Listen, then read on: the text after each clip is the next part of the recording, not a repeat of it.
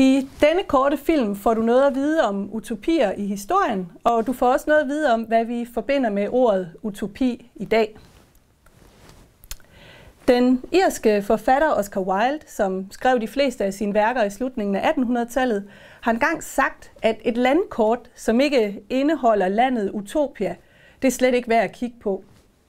Og med det forsøgte Oscar Wilde måske at sige, at det at tro på utopier, og det at gøre os forestillinger om noget utopisk, og det utopiske samfund, ja, det er noget, der ligger så dybt i os mennesker, at det kan vi slet ikke lade være med. Ordet øh, utopi kommer af det græske utopia, som betyder ikke sted eller intet sted. Men vi kunne også fortolke det som, at det betyder stedet, som ikke er, eller stedet, som ikke findes. Men øh, den forfatter, der normalt forbindes med ordet utopi, det er englænderen Thomas More, som skrev værket øh, Utopia i 1516. I det her værk, øh, Utopia, der øh, forsøgte Thomas More at lave et billede af et idealsamfund. Værket handlede om den her ø, Utopia, hvor indbyggerne levede i fred og fordragelighed, og hvor der herskede lighed. Altså der var ikke nogen folk på øen, der var undertrykte, eller nogen, der ejede mere end andre.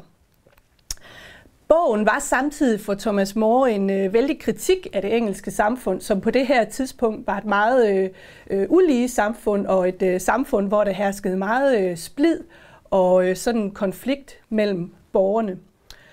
Det gjorde så også, at Thomas More kom i konflikt med den engelske konge, den daværende Henry den 8.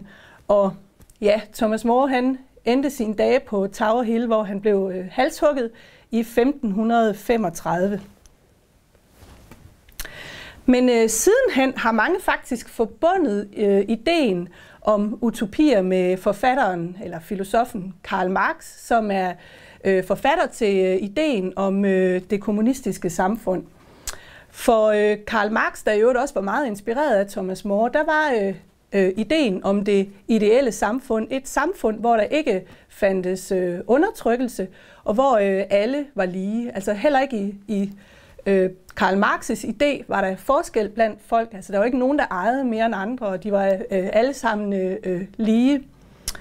Øh, sidenhen er der så også mange, der har kritiseret netop Karl Marx's idé om det kommunistiske samfund for at være i virkeligheden et totalitært og undertrykkende samfund. Fordi i og med, at alle var lige, og ingen måtte eje mere end andre, så skulle alle også være ens. Og de folk, der måske trådte ved siden, ved siden af og, og, og ikke rigtig kunne indordne sig under den her idé, ja, de blev jo, øh, blev jo gjort til, til fjender af, af staten og, og af samfundet.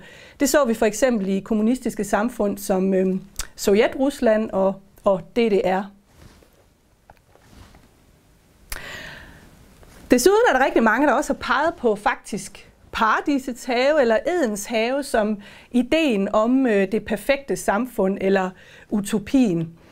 Øhm, her er der jo ingen konflikt, og løverne græsser ved siden af lammene, og menneskene igen lever i fred og fordragelighed. Men måske kunne man også sige, at det ikke også et lidt øh, kedeligt sted at være øh, i virkeligheden. Og der findes jo også rigtig mange eksempler på, hvordan hele den her, øh, det her forsøg på at skabe Guds rige eller paradis på jord faktisk har ført til udslettelse af såkaldte vantro og øh, folk, som ikke har ønsket at realisere dette paradis. Oscar Wilde havde nok øh, ret i, at vi øh, til alle tider vil være grebet af tanken om det perfekte samfund og drømmen om det gode liv.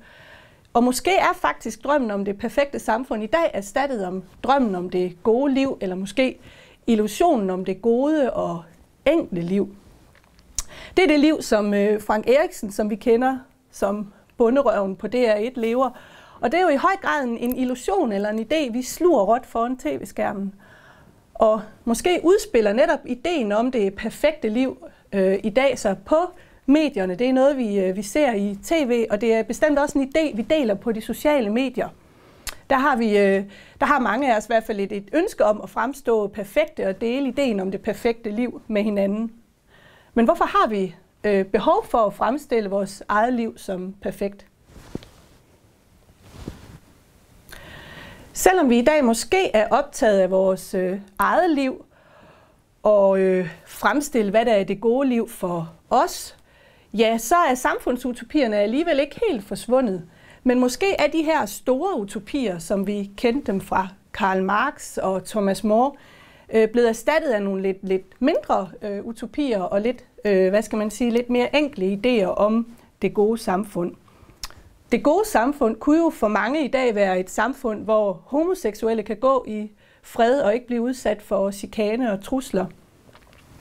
Men en anden idé om det perfekte samfund kunne jo også være et samfund, hvor øh, alle store byer har mobile fikserum, som øh, vi ser her, som øh, bliver en hjælp til de mest udsatte borgere i vores samfund. Vi vil alle sammen gerne have nye drømme, men hvor er de henne i dag, og hvordan ser det perfekte samfund ud for dig? Hvor langt vil du for eksempel gå for at realisere ideen om det perfekte liv og det perfekte samfund?